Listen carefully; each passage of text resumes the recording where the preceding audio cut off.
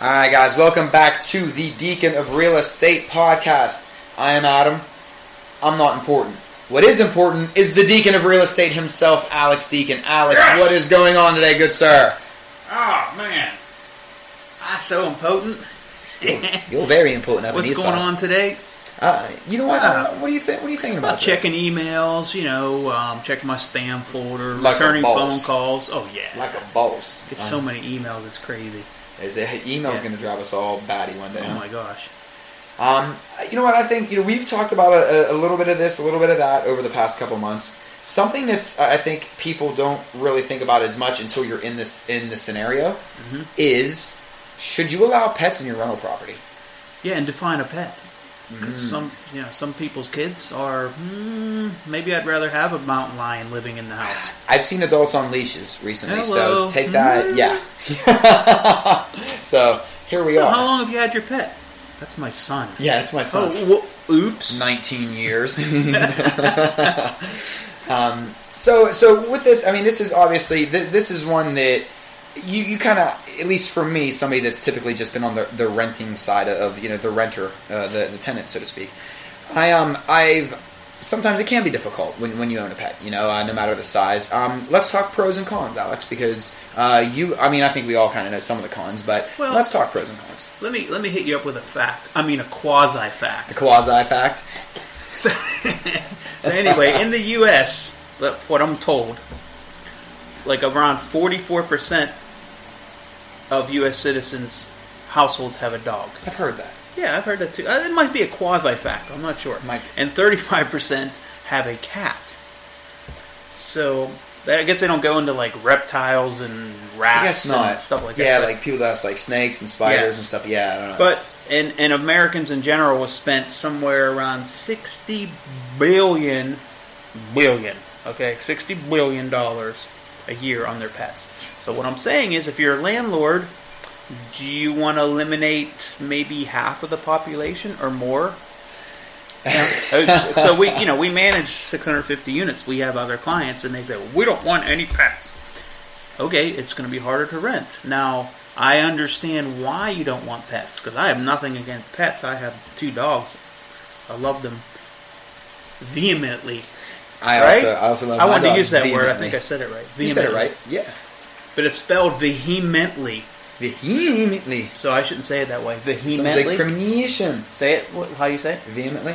Vehemently. Yeah, I'm probably saying it wrong too. No, I think it I've always good. said vehemently. So what were, what were we talking about? Pets? How much I love my How much you pets, love your pets. vehemently. Vehemently. Yes, that means I like them a lot. Basically, I love my pets. Grammar. Okay, so my point is, I understand it's not the pet's fault. It's typically the owners, right? The owners Mm-hmm. don't take care of their pet. They don't take them for walks. They don't clean up their poop. They let them pee everywhere. And believe me, we've seen pets do a lot of damage. So I fully understand why you wouldn't want to rent to a tenant who has a pet. Now, that being said, what we'll typically do here is I'll give you an example. I have a nine unit building. There's like no yard, there's nowhere to take the pets and whatever. So, this building, it could be somewhat cat friendly. Okay? It's definitely not a dog friendly building. I would not rent this building to someone who had a dog. Um, that's just my choice. Now, if I did, could I get more rent? I probably could. But you, you have nine units. Let's say one of the tenants' dogs is barking all day. Right. Now you have an issue, you know, and it's just it becomes more of an issue than what you had planned. And then it's like the domino effect. One issue Yeah, breeds so the next issue. You ha- so I guess what I'm saying is certain properties should not be pet friendly. Okay, could be maybe a cat because cats aren't you know barking all day. Now some single family homes, like you rent a single family home, there's a lot of cases where those folks are going to have a pet. You know they have a couple kids, they're probably going to have a dog. So if you eliminate those from your tenant pool, then it's going to take longer to rent your property. Mm-hmm. So what we do to combat that is we might ask for a pet deposit. And I'm telling you, you'll get some pushback from tenants too. We're like, well, what do I need a pet deposit for? Like a full month's rent. Like, so let's say the rent is $1,500. Well, we want a $1,500 pet deposit. And a lot of tenants will go, "Well, no, no way." Well, then, then don't rent from me. Right. Because fifteen hundred dollars, that I mean, that dog can literally destroy a whole house of carpet. That's going to cost three thousand dollars to replace. Plus, they can do damage to the walls. They can scratch doors. They can they can chew um, moldings. I mean, it's it's incredible that you know the pushback you'll get from some tenants, and they're like, "Well, no, we're not gonna. we- We don't want to rent your place." Then, okay, then don't. I say, "Oh, so we will rent to people that have pets." It just depends on the property. It depends on if it's my property or if it's one of our owners, and they're you know they're adamant about no pets or only cats or only small dogs under 40 pounds. So it, it's really a personal preference, but you just need to know as a landlord what you're getting into when you say, "I don't want pets." You know, and it's not good or bad. I'm just saying it's personal choice, and then you, you leave it at that and, and run and run with it. be smart about it. Yeah, and I mean, th- this is something too that typically, and I, I mean, again, I'm, I'm very green with this, so uh, this is just a, a naive question that I'd like to propose to you, but in a way, you know, when you're saying like, you know, basically don't ostracize half the population like that, you know, mm-hmm. that has pets.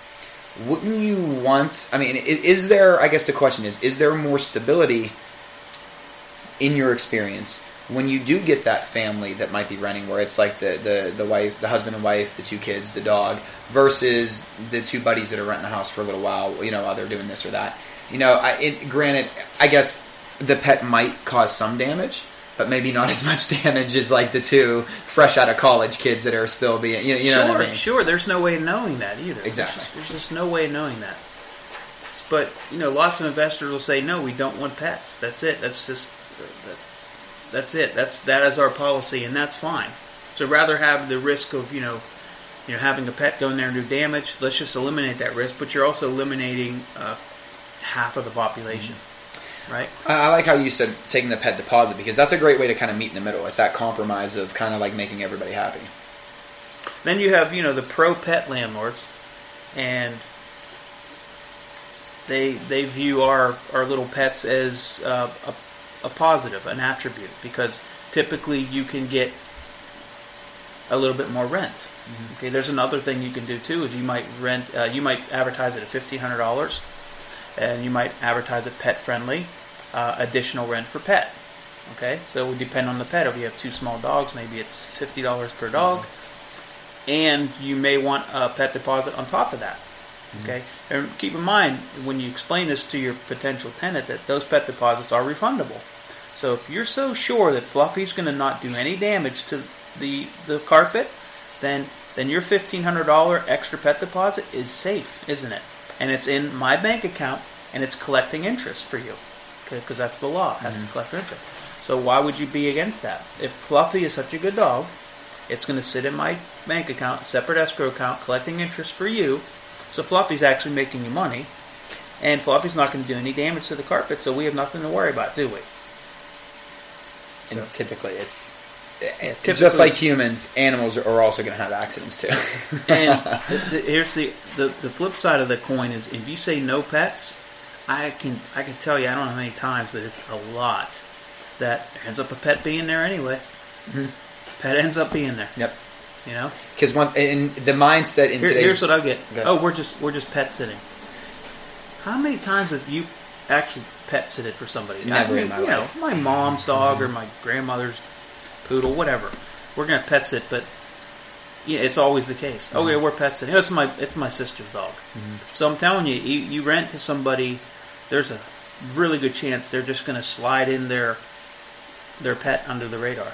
something's better to just protect yourself from the jump. That way, Yeah. you don't run into that. Yeah, that's a good point. Maybe just yeah, make it pet friendly. But again, that's your choice, and there are pros and cons. Believe me. So Like I and I, I absolutely understand both sides of it too. Because like for for myself, I, I I mean I have a dog, but I am I typically am pretty allergic to animals.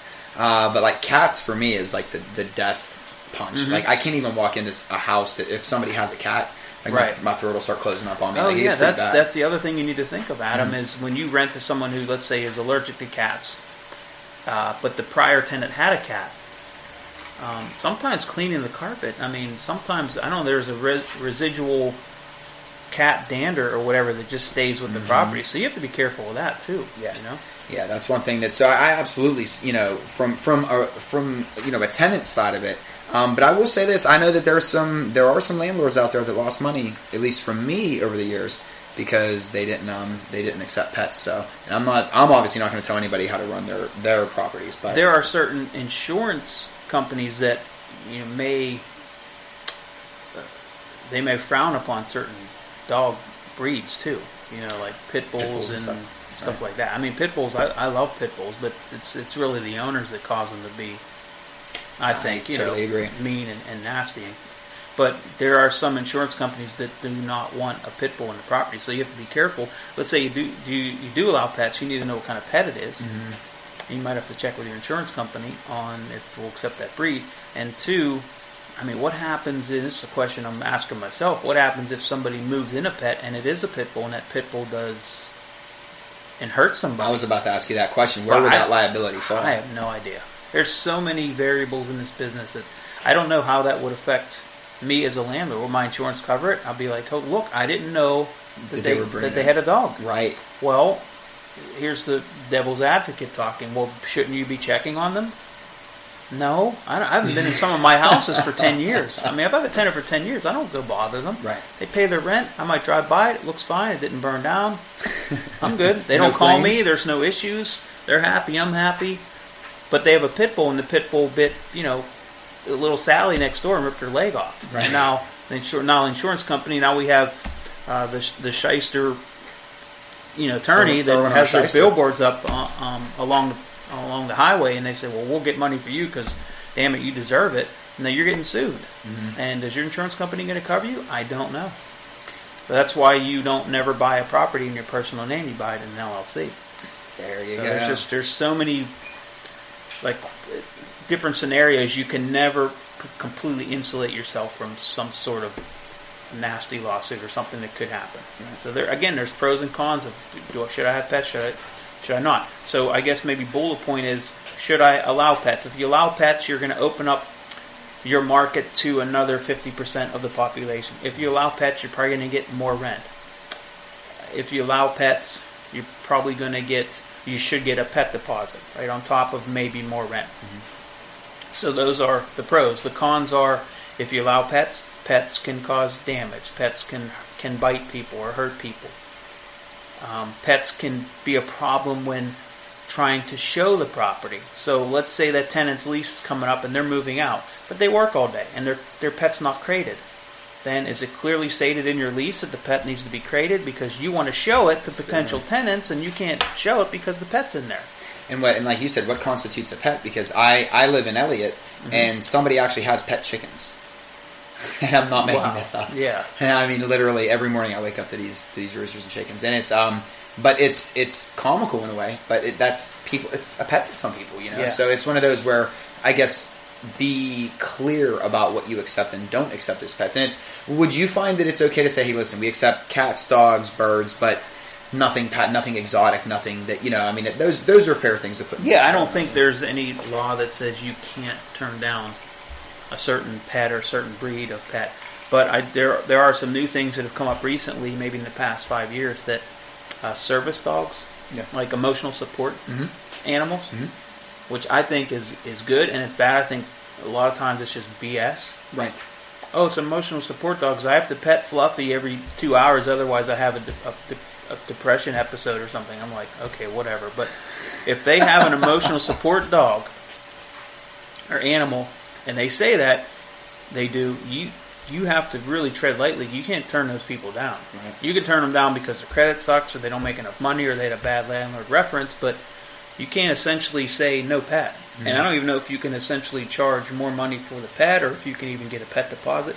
I don't know there's a fine line there on emotional support animals. There is an exception to that rule, even in public places, whether it be eateries, shopping places. I mean, they're you know retail establishment. Anywhere you go, I, I think service dogs. It's it's almost like they're, they're they have. Mm-hmm. I mean, service dog's different because that's like a blind person or some might have a service dog, but emotional support, emotional support. you know, it's just it's a new one. Right. this is America, folks. It's Land of opportunity, but land of you know bureaucracy and, and headache too. So. Yeah, exactly, exactly. Um, but I like that. I like that though. So it does sound. But you have two pets. What are your pets' names, real quick, before before we head out? My pet's name uh, is Ava. She's a miniature Shih Tzu, and Annie. She's a, a